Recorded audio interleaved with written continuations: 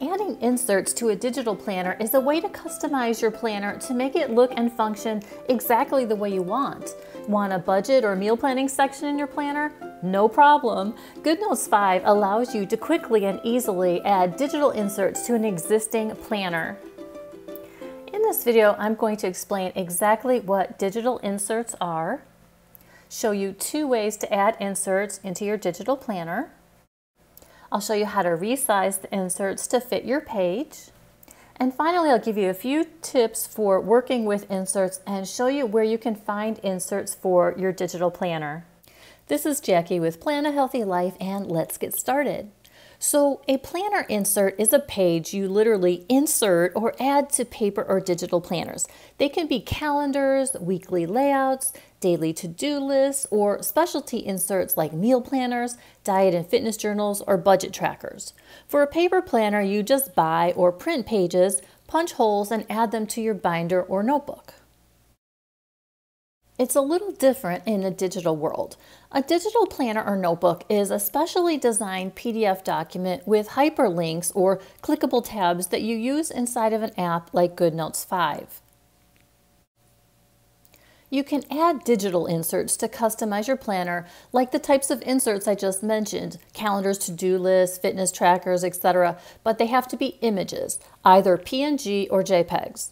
By adding these images on top of a page in your digital planner, you preserve the clickable links in your digital planner.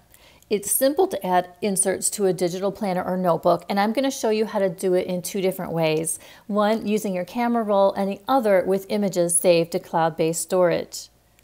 I'm demonstrating in my Rainbow Digital Notebook, and I'll link to that in the description box below. Here's how to add digital inserts to a digital planner or notebook using your camera roll. First, you need to have the images, either in JPEG or PNG format, saved to your iPad's camera roll. Now open your digital planner in GoodNotes and navigate to the page you want to add the inserts. Tap on the Image tool in the toolbar. Scroll to find the insert image you want and tap on it. Now you can resize using the handle at the bottom of the image if desired and using your finger or an Apple Pencil to position the insert where you want on the page. You can also crop off the outside borders of an image to make it appear larger in your digital planner. Tap on the image twice to trigger the crop option, tap on crop and then use the blue circle handles to crop your image. When you're done cropping, just click on done. Now here's how to add digital inserts to a planner when the insert images are stored in the cloud. I like to store my digital inserts in the cloud to save space on my iPad and leave my camera roll for pictures of the people and the things that I love. So no matter where you save your inserts in the cloud, so the Apple Cloud, Google Drive, Dropbox, or Microsoft OneDrive, you can easily add them to your digital planner. And here's how to do it. So open your digital planner in GoodNotes and navigate to the page where you want to add the inserts. Swipe up from the bottom of the screen to open the dock. On the dock, touch and hold the Files icon, then drag it off to the right edge of the screen. Now navigate to the location where you have the insert stored. So in this example, I'm selecting OneDrive. Find the image you want to insert, press and drag it to the left onto the GoodNotes screen. Then you can resize using the handle at the bottom of the image if desired. And using your finger or an Apple Pencil, position the insert where you want on the page. When you are done adding inserts, just swipe to the right to close the Files folder. Like before, you can easily crop that image to get rid of excess space in the margins and make your digital insert appear larger on your page.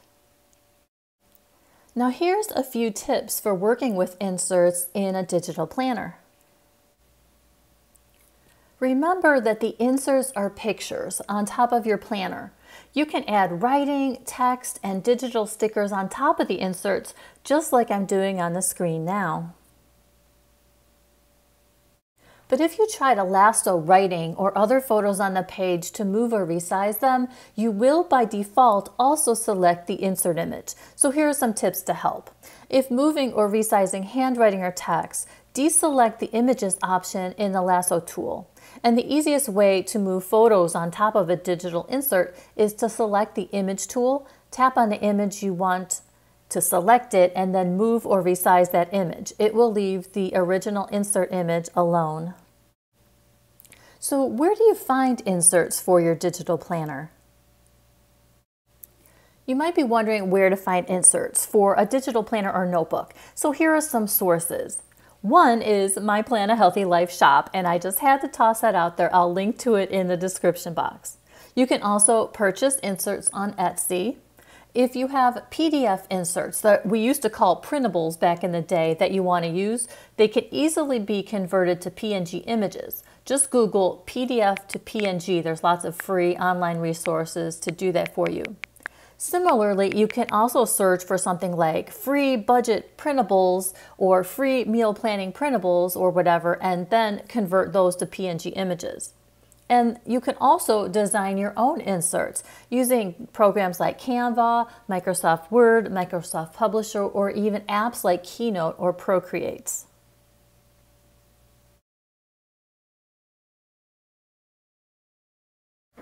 I hope you found this quick digital insert tutorial helpful and if you did, please give this video a thumbs up and consider subscribing.